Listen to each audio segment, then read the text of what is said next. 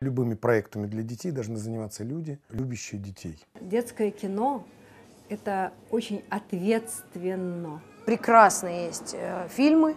Они приходят из Франции, из Америки, из Италии, из Австралии, откуда угодно. Сегодня тенденция, конечно, снимать какие-то сериалы, снимать детективы, боевики. И все хотят денег и славы. Единственное, кто там еще как-то барахтается, это несчастный Борис Грачевский, который выбивает эти деньги и за счет э, пожертвований, спонсоров, и Яралаш еще существует. Сегодняшнее детское кино чудовищно отстает. Дело в том, что в детском кино запрещена в середине фильма реклама, можно только в начале и в конце. Это невыгодно э, телевизионным каналам. Для того, чтобы появилось детское кино, как минимум, нужно сначала отменить этот идиотский закон.